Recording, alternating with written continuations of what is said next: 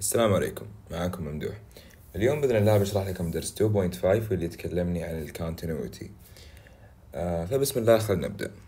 أولا وش هي ال continuity وش معنى هذه الكلمة؟ تمام؟ تخيلوا عندي هذا ال axis. تمام؟ وتخيلوا أن عندي رسمة فلانية مثلا آه زي كذا. وش نلاحظ بهذه الرسمة؟ نلاحظ أن كل النقاط متصلة ببعض. تمام؟ إذا جتنا هذه الحالة أن كل النقاط متصلة ببعض نقدر نقول عليه هذه الدالة تمام خلينا نسمي الأحمر f of x نقدر نقول عن f of x إنها دالة continuous دالة متصلة تمام؟ هذه الأشياء كان المفروض ناخذها بالثانوي بس آه كورونا ما أدري وش ما خلت نذاكر هذه الأشياء. فالمهم إذا كانت كل النقاط متصلة ببعض زين؟ يعني لما جيت أرسمها ما أحتاج ارفع القلم. كلها متصلة ببعض. زين؟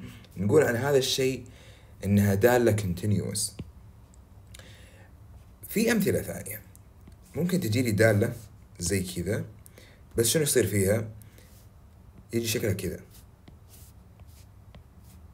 اضطريت أرفع القلم زين؟ الدالة مو كل نقاطها متصلة. في في اسمتو هنا. زين؟ في في في, في فراغ. زين؟ طبعا هذا النوع اسمه غير متصل. لأنه واضح ما هو متصل. اضطريت إني أرفع القلم عشان أقدر أكمل الرسمة. زين؟ قلمي ما بقى موجود.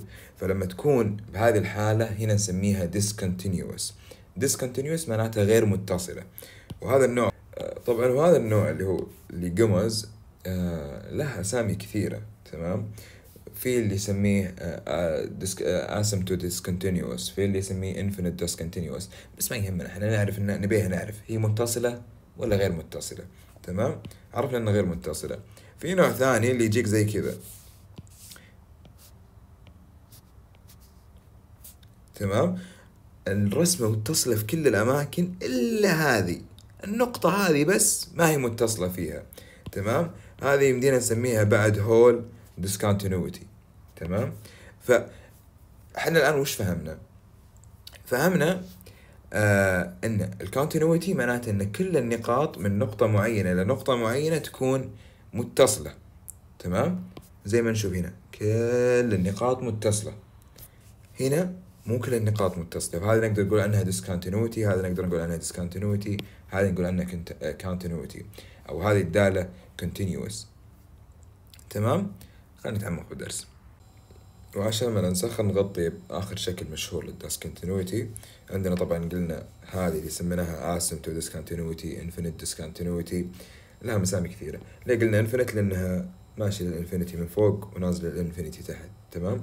فلها أسامي كثيرة. هذه ال hole discontinuity في discontinuity بعد ثانية اللي تجيك شكلها زي كذا مثلا.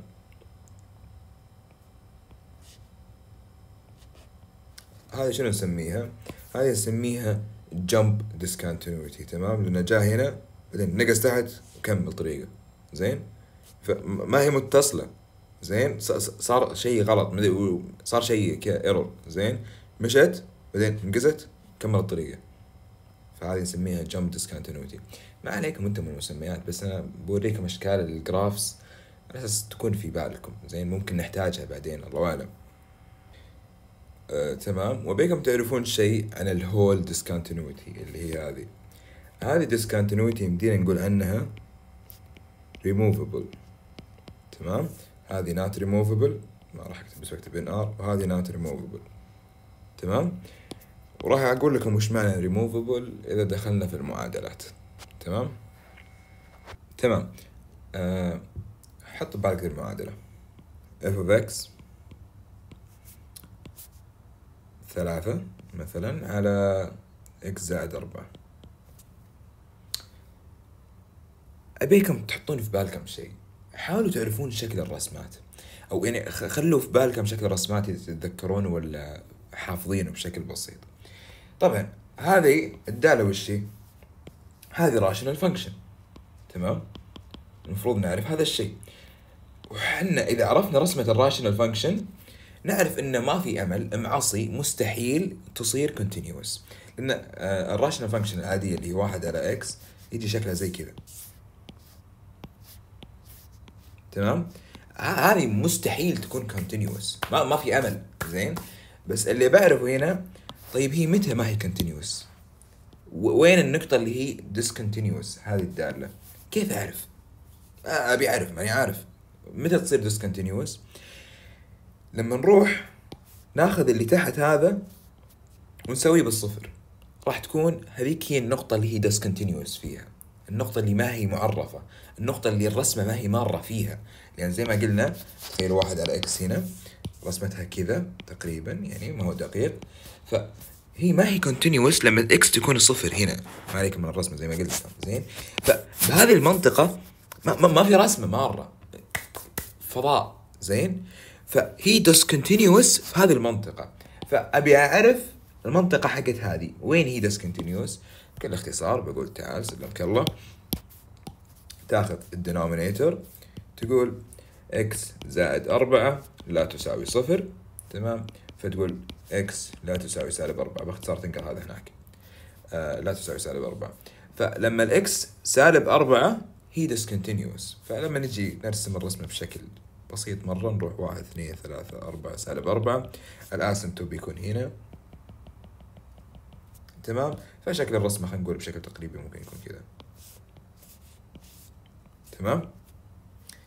ما هي معرفة عند سالب أربعة؟ ما هي متصلة.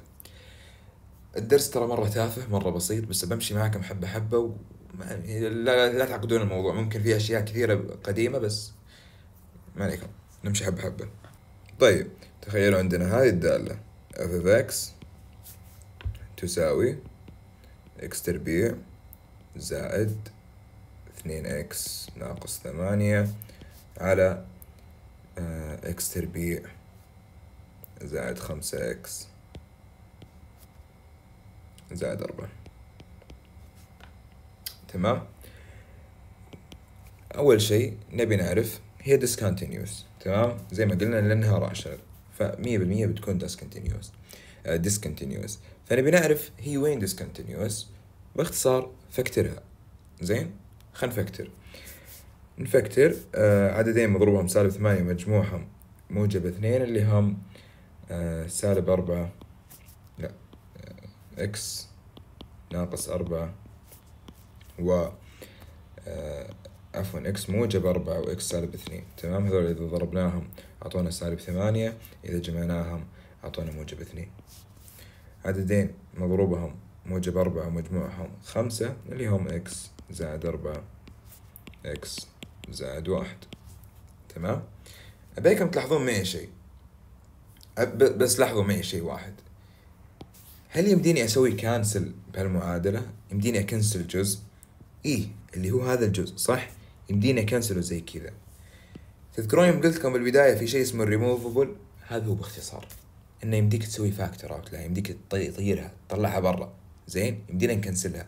إذا قدرنا ن cancel ها فنقدر نقول إن فيها ريموفبل زين؟ حتى لو إن إحنا نعرف إن شكل الريموفبل كان جاي زي كذا. تمام؟ اللي كذا بعدين في hole بعدين كذا صح؟ هذا شكل الريموفبل اللي شفناه. وهذه آه هذا rational function فكيف كنا بنقول شكله بيطلع لنا زي كذا. لكن المقصد انه ممكن مثلا في نقطة زي هنا مثلا خلينا نقول زين بيكون في hole. فاساس كذا نقول انه ريموفبل لأن في نقطة في نقطة موجودة فيها hole اللي هي مثلا عند سالب أربعة. تمام؟ بس نرجع هذا. وخلنا نرجع لمعادلتنا لأن آه، طرنا شويتين بس أساس كنت جبت المعادلة دي أساس أوضح فكرة الريموفبل زين؟ فنبي نعرف عند أي نقاط بالضبط هي discontinuous بكل اختصار ما راح تكون continuous لما ال x زائد واحد تساوي آه لا تساوي الصفر اللي هي معناته لما تكون x آه، لا تساوي السالب واحد هي discontinuous. هذه مع اننا سويناها factor out برضو نجيبها لانها راح تكون undefined. تمام؟ ف x زائد أربعة لازم انها ما تساوي الصفر بمعنى آخر إن x لازم تساوي سالب أربعة. مثلا لو رحت آه، البرنامج graphing اللي سو آه، موقع math graphing زي موقع Desmos مثلا. حطيت المعادلة وقمت تم...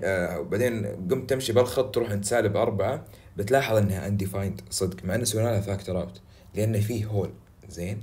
بسالب أربعة كيف في فتحة آه فتحة ذي تمام؟ اللي ما هي ما هي معرفة الرسمة ما هي مرة فيها. فانت بس لا تبلشون راسكم فيها بس هذه أشياء ابيكم تفهمونها على أساس نبني أساس جيد جدا. آه، للمعادلات الأصعب والدروس القادمة بإذن الله.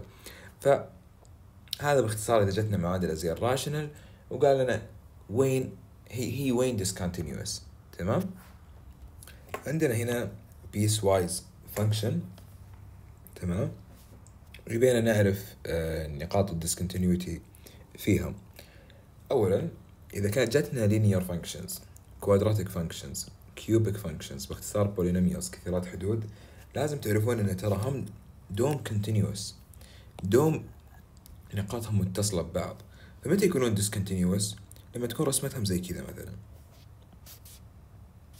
تمام؟ فيها هول في نقطة مختفية. ف في البولينوميالز هذه هي كذا تصير ديسكونتينيوتي تمام؟ لما يكون فيها هول. فدامنا عرفنا هذا الشيء تمام؟ في طريقة. سريعة لحل المعادلات هذه وطريقة خطوات. الطريقة السريعة استخدموها إذا كان الأسئلة خيارات وطريقة الخطوات إذا كان مقالي ما أدري إذا الطريقة السريعة مسموحة كمقالي أو يعني يعطونكم عليها درجات تمام؟ بس إذا جت خيارات استخدموا الطريقة السريعة لأن تعرفون أوقات اختباراتنا جدا طويلة تمام؟ فإحنا عرفنا من الرسمة اللي تو إن ال polynomials تكون ما هي معرفة عند نقطة معينة صح؟ فمعناته عند نقطة معينة مو عند أرقام كثيرة. فخلينا نشوف لما ال x تساوي واحد. زين؟ ال x تساوي واحد أو ممكن تكون واحد وين؟ هذه المناطق. ما عليكم إن هنا ما في تساوي بنجرب المعادلة فقط. تمام؟ فراح نجرب المعادلتين هذه ونشوف إذا هي discontinuity ولا لا. وكيف؟ الطريقة السريعة بكل اختصار إني راح آخذ المعادلة هذه وأسويها بالمعادلة هذه. تمام؟ راح نقول ناخذ الأول خمسة إكس زائد ثلاثة تساوي إكس تربيع زائد أربعة. زين؟ ونعوض الاكس بالواحد لأن إحنا قلنا إن لما الاكس تساوي واحد خلينا نشوف إذا هي continuity ولا لا. إذا الاكس ساوت واحد بس نبي نجرب. تمام؟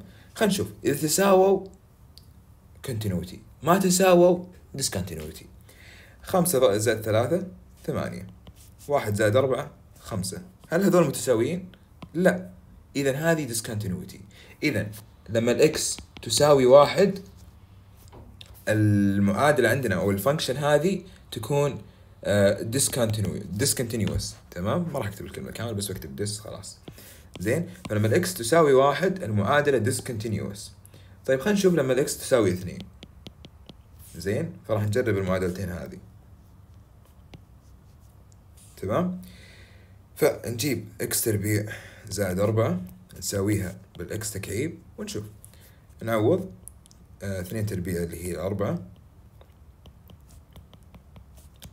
إكس تكعيب اللي هي راح تكون اثنين أس ثلاثة اللي هي ثمانية ثمانية تساوي ثمانية متساويات continuity فالإكس غير متصلة عند الواحد ومتصلة عند الاثنين تمام؟ عرفنا نقاط عدم الاتصال.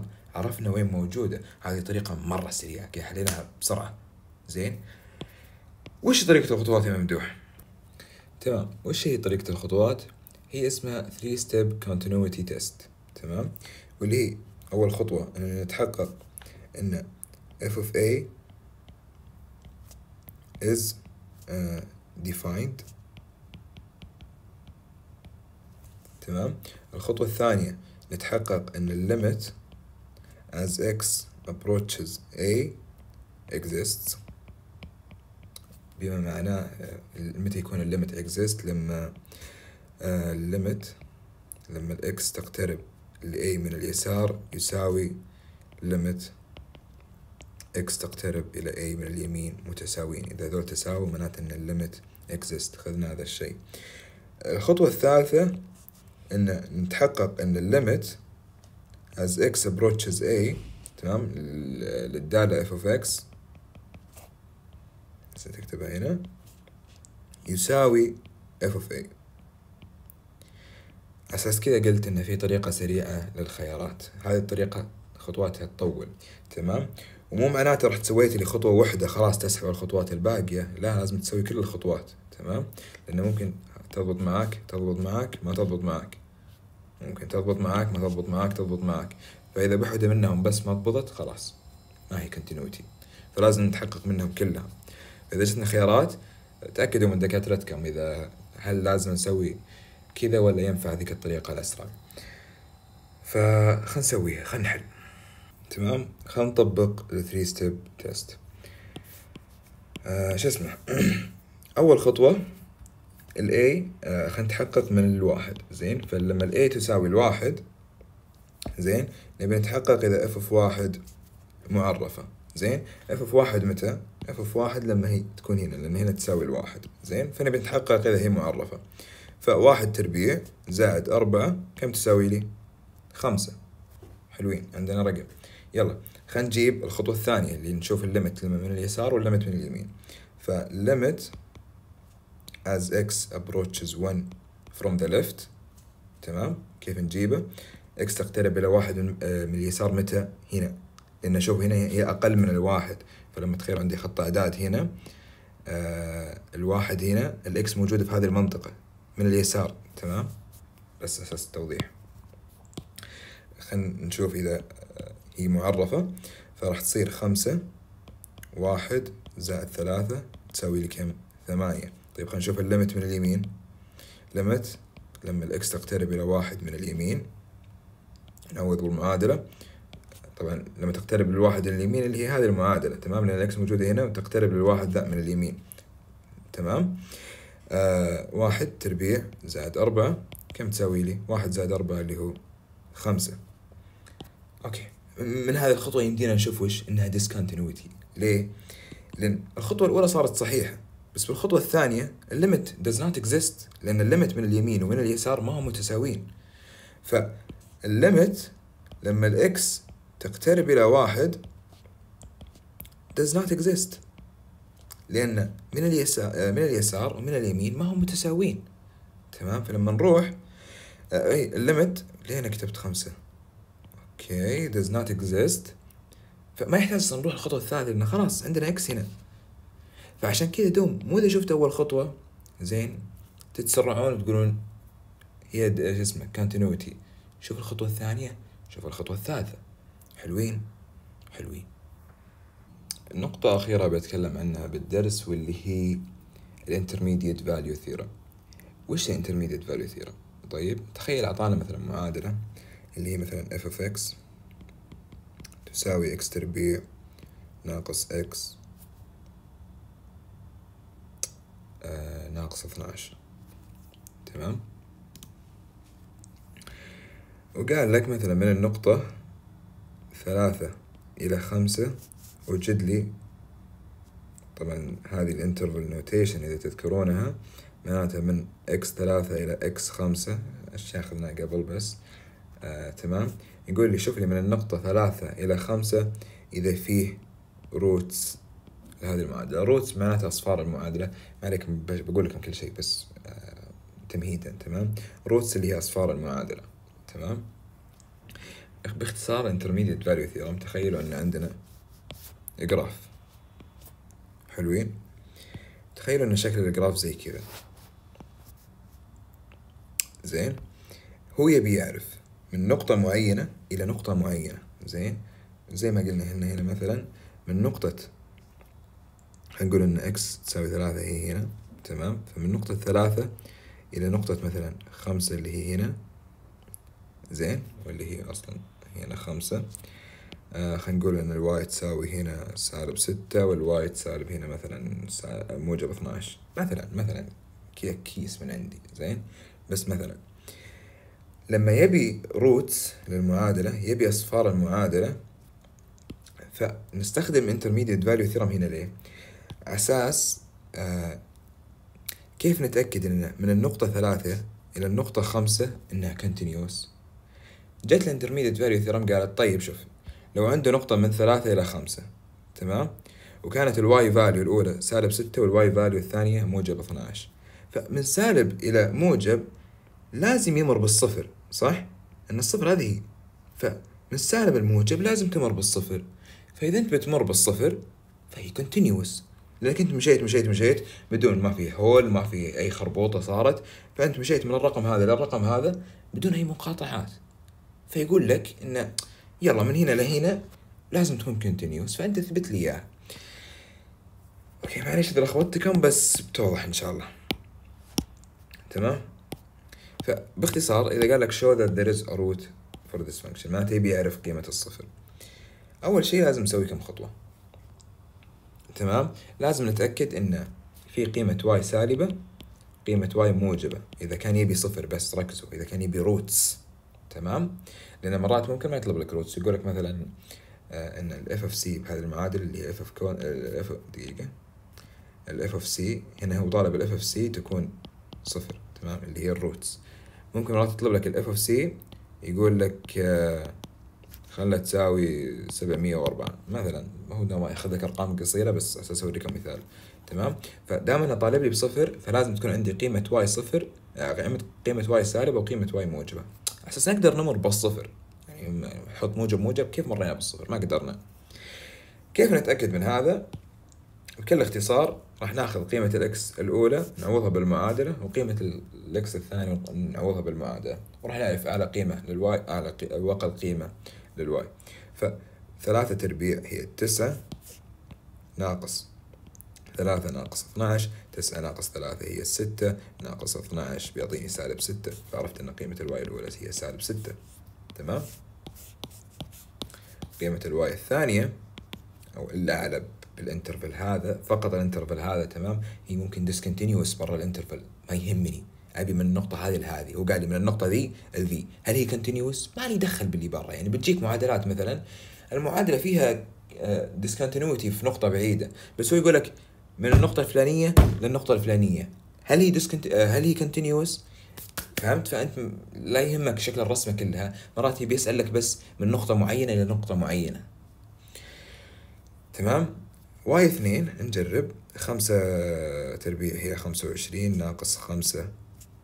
ناقص اثناش خمسة وعشرين ناقص خمسة هي العشرين وعشرين ناقص اثناش هي الثمانية.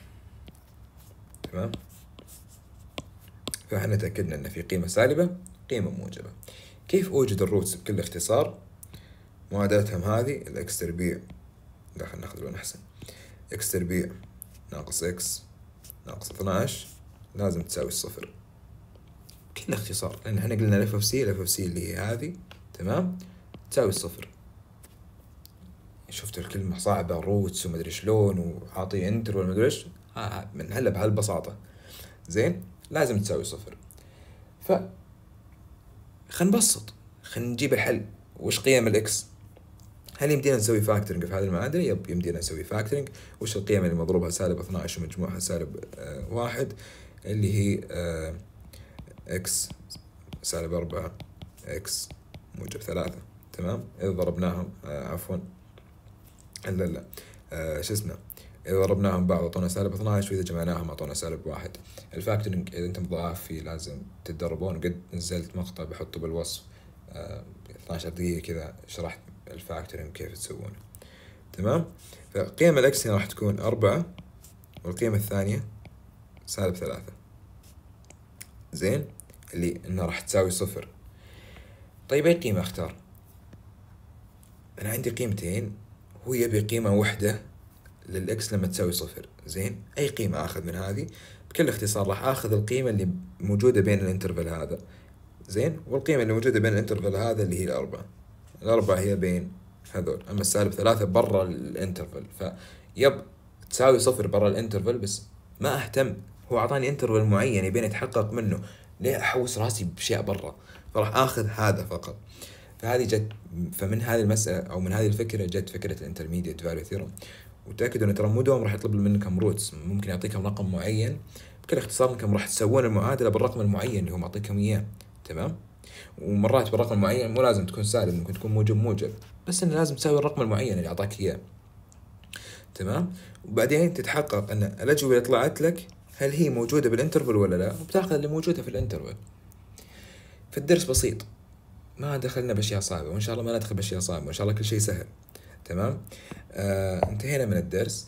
اعتذر إذا ما كان في تدريب كافي زي السنة الماضية لكن تعرفون ضيق الوقت وكيف الكلية قاعدة تجلدنا آه فانتهينا من الدرس. التدريب بإذن الله عليكم tutorials ولا الكتاب. آه في حل واجهتكم أسئلة. آه نزلت حل ال tutorial بالخطوات آه كملف بقناة ال calculus راح تلقون قناة ال calculus بالوصف. في حل جيتوا تدربتوا صارت عندكم أسئلة ما فهمتوا ارسلوا بجروب الحاسب برضو بيكون بالوصف. آه الحل بكون أنا موجود وناس جدا كثير بتساعدكم بشرح المعادلات. تمام؟ فخلونا يد واحدة هذه السنة بال calculus أي أسئلة تصير انزلوا الجروب الحاسب تحت اسألوا جاوبوا عن بعض لأن لما تجاوبون عن بعض أنتم بتساعدون نفسكم لما تشرح لواحد ثاني بتفهم.